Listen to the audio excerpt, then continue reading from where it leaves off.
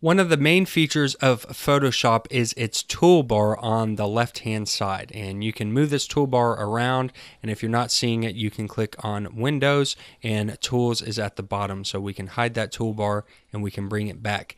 Now the toolbars has a bunch of different tools. If you hover over them it'll show you a little bit about the tool, it'll talk about it and show you the shortcut key in parentheses and each tool generally has more tools underneath. So if we click and hold on that tool, you can see the shortcut key B doesn't only just do the brush tool, but it also will cycle through the pencil tool, the color replacement tool, and the mixer brush tool. So there's four tools under this icon. The toolbar also has some other things such as being able to edit the toolbar here, uh, your color swatches, entering quick mask mode and also changing your screen mode. You might want to go into full screen or full screen with a menu bar, but I'm using a standard screen mode at the moment while I'm recording.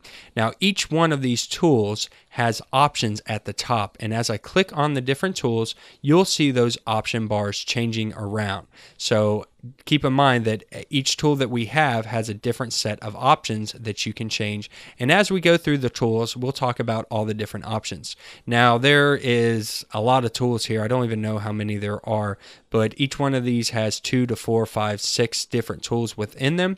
So I'm not going to get through all of them, but I'll show you the most common ones that you might want to use as you begin using Photoshop. And other tools will um, pretty much make sense and be easier. Some of them will take a little time. So we'll go through and look at the main tools, and then hopefully you can experiment with the rest of the tools or check out Adobe's documentation on all of the tools if you want to know more about them.